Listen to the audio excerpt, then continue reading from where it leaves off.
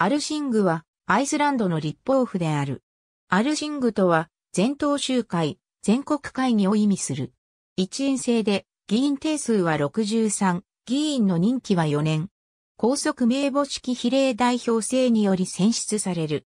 930年に創設された世界最古の近代議会と言われ、以後、ノルウェーやデンマークによる植民地支配などで一時の中断を経て、そのまま現在に至っている。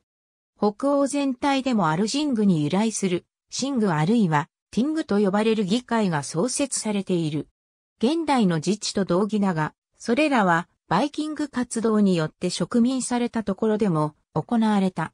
現在スウェーデン領となっているゴットランドでも中世にアルシングが行われている。イギリスのマン島で行われている自治もノルマン人が持ち込んだシングであると言われている。アイスランドはもともと移民によって入植が進んでいき、それぞれの定住地域でシングと呼ばれるものが存在した。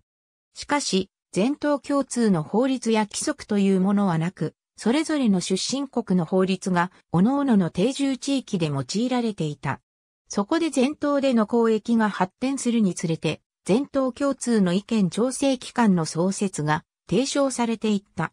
930年に定住地域ごとのシングの代表が集まり、レイキャビクの近くのシンクベトリルという丘で、アルシングが2週間にわたって開催された。初期は立法と司法の機能を有し、行政は各定住地域の自治に任されていた。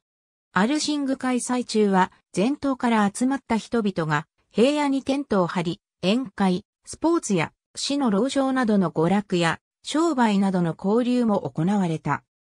千年には古い信仰を守る人々とキリスト教への改宗を主張する人々がアルシングの場で激しく論争するさなかに会場近くの河口及び近くのヘイトリス平人において同時に噴火活動が始まり、これをきっかけに話し合いがまとまってキリスト教を国教とすることを決定している。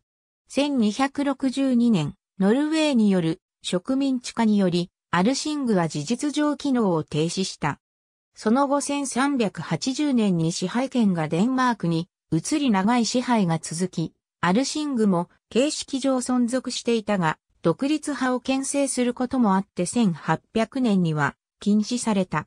19世紀になると独立志向がさらに強くなり、アルシングは1847年に復活する。